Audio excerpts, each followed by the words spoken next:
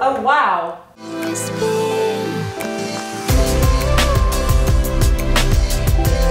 Hello, people of interwebs. Today I'm gonna do something way above my ability level, as you can tell by the title of the video. I don't know why I'm pointing up because there's no title over there. There is a link to the last video I did about something though that will get you caught up on life if you're new.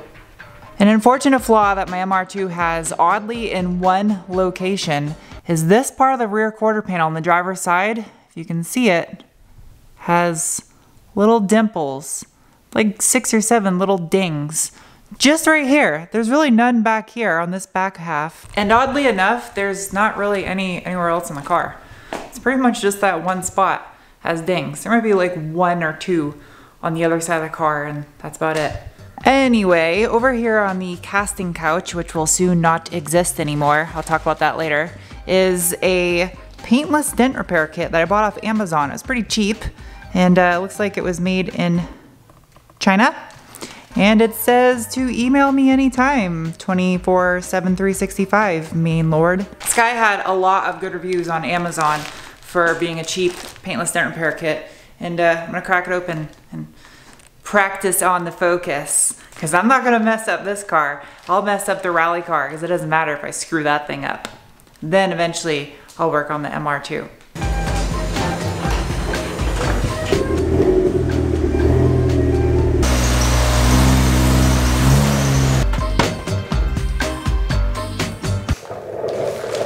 Hello.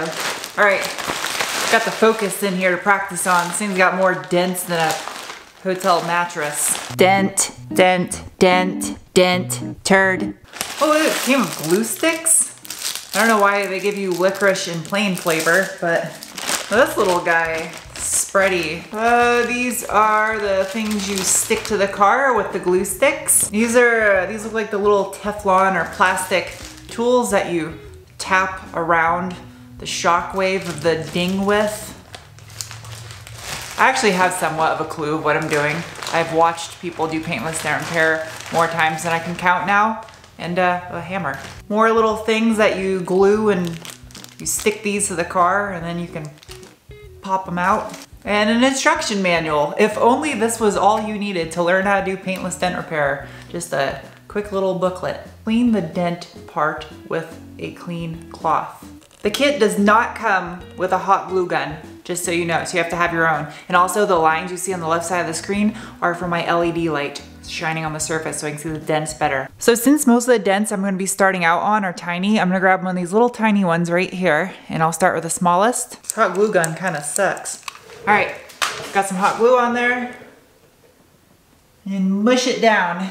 Now I just gotta kinda hold it in place nice and firm like and then let it dry for a couple minutes. So there's various methods on how to do this paintless dent repair. This is the glue pull method. There's also the method you use the rods where you actually drill a hole or you find an access point and you get behind panels and then the rods allow you to massage the dent from the rear. Now on areas you don't have the option to do that, that's where these come in. Keep in mind, this is not meant to be a tutorial. I am not a professional but I did watch a professional remove dents on my Audi TT in this garage for like four hours. And he gave me a lot of pointers and tips on how the process is. So I'm simply regurgitating back to you what I have learned. And in this video, I'm going to half-ass attempt to do it myself.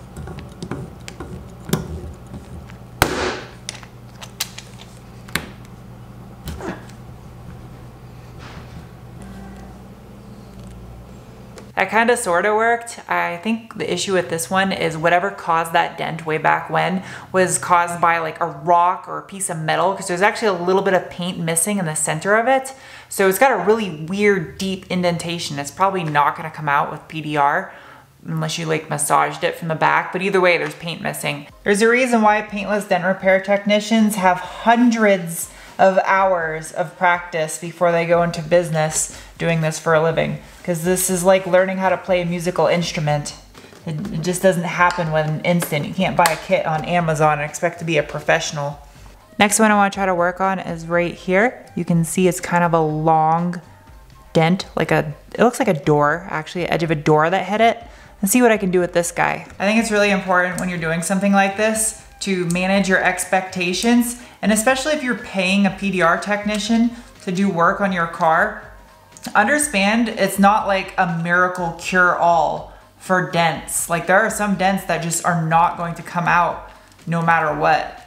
And if you buy a cheap kit like this, you should manage your expectations even more because this glue that came with it absolutely sucks. All right, here goes. Ooh, that was a satisfying pull. And the glue came off with it too. Wow, that actually worked. Check that out. That is right where the dent was, right there.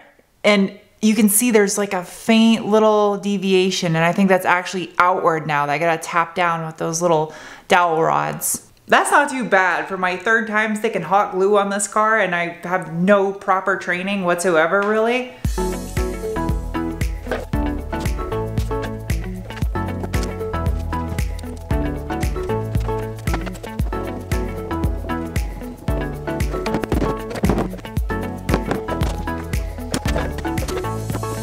There's a couple different types of dents I've noticed on here. You have the ones that are on a flat surface that are a lot easier to pull. You just kind of attach the glue here and pull upward and then you might get left with something that kind of has an upward pimple and then you just take your little hammer and you tap it down right here until it's flat. Only problem with doing this though is I've noticed most of these dents aren't on perfectly flat surfaces. A lot of them are on kind of curved areas like my TT was, which was even worse because I had bubbly areas. But the dent dude did teach me a trick. A lot of times on the surface of cars, especially in rounded areas, you get dents that kind of have an effect like a crater on a meteorite strike. So what happens is it gets dented inward here, but the metal gets kind of forced outward right here on the edges. So what you need to do to fix areas like this is you pull outward on the dent right here or tap it from the rear, however you have access. And then what you're gonna do is tap down the outer edges. And what that kind of does is it puts tension back in the center and makes the metal more rigid. Hi, it's the next day. You guys notice the garage is getting emptier and emptier on this back wall. And like I said earlier in the video, I would explain that in a little bit. And what I'm gonna do is up on the screen right now, you're gonna see a poll pop up. What I want from you guys is to vote would you like to see maybe one or two videos of what I'm doing in here with my complete garage overhaul? If anything, at the minimum, I do have a new tool chest coming and I will at least do a video on that since it's gonna be a sponsored item. But if you don't wanna see the rest of it, I'll just focus on car stuff and you'll just see the background change. Let me know below in that poll or above or wherever the hell it is, okay?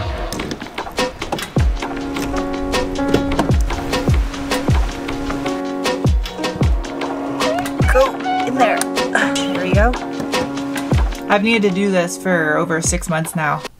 And my hair kind of looks like a coconut. That's why I don't ever wear my hair up. I look like a coconut. It's whatever. Coconuts are yummy.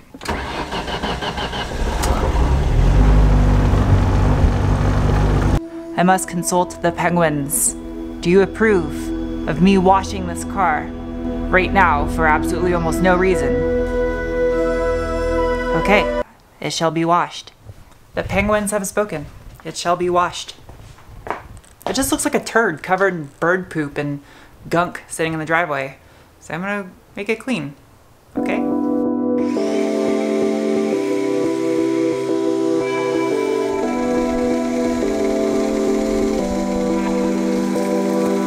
That's after five minutes of this stuff sitting on there. Shit's thick.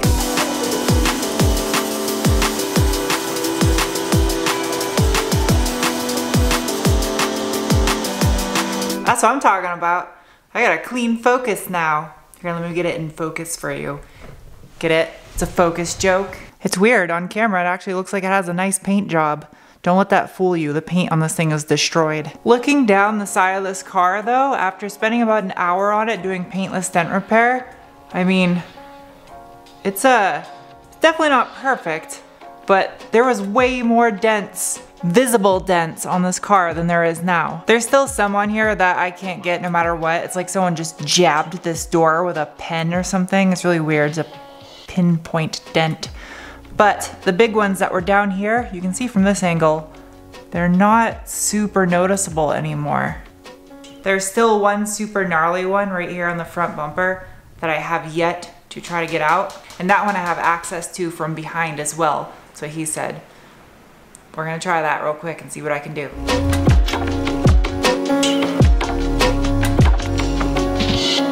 Okay, something is telling me that I probably should not use this glue pull method on this area. It's probably not the best way of doing it, but that's the beauty of practicing on a car. You don't care if you screw up, right? So let's see what happens. Oh, come on. Oh, all right. Glue works a lot better. The black glue that it came with. See what that did. Hell yeah, dude. Oh, wow. That already made such a difference. I need to clean all this residue off and see if I can get this scrape or scuff out of the way so you can see it. But dude, this is fun. I would not do this on the MR2. I'm not confident in my abilities just yet, but on something like this, it's kind of fun. All right, time lapse. I'm gonna go do a bunch more dents.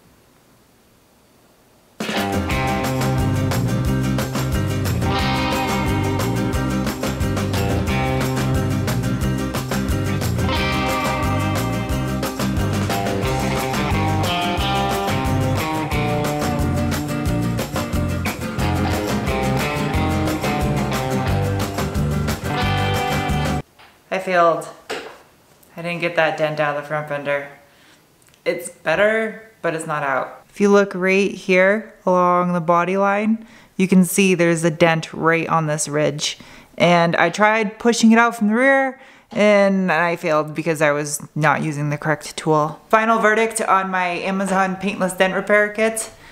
It's not the kit that makes the difference, it's the skill that goes behind it. I think if you gave a pro that went to school for paintless dent repair this kit, they'd probably be able to do a little better, a lot better than what I did. But this goes to show if you're buying a kit for like 30 bucks off Amazon, expecting to repair a big nasty dent on a car that's worth a lot of money, just pay a professional to do it. and save yourself the time and hassle because this takes a lot of practice to master. All right, now that that's over with, I, uh, I have something under here I'm gonna try to take a look at and this is gonna be going into the next video. I don't have any headlights on the Focus right now because these are Euro spec headlights that are on the car and in this box somewhere is package right here that I ordered says Audi Volkswagen connector, except this isn't for an Audi or Volkswagen. What this is, is this right here is a set of headlight harnesses with all the little pins so I can build my own harness that plugs into these Eurospec headlights from my USDM Focus SVT headlight harness. I'm not gonna do this in this video because I gotta map out my wiring, but I just wanna let you guys know this is gonna be happening in the next video on the Focus, as well as this huge box right here that's been sitting behind my front door. Oh my God, this is heavy. that huge box right there are massive sheets of H3DPO 9000 XB12 niner plastic stuff. I forgot what it's called. It's like 3 8 inch plastic sheets.